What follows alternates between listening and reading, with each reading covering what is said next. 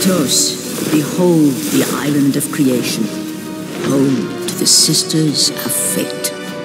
Here, the path to your true destiny begins. The island is fraught with danger. It was created to prevent all from reaching the three Sisters of Fate. The power of the Sisters will allow you to return to that moment when Zeus betrayed and killed you, Kratos, thus changing your fate and the fate of others.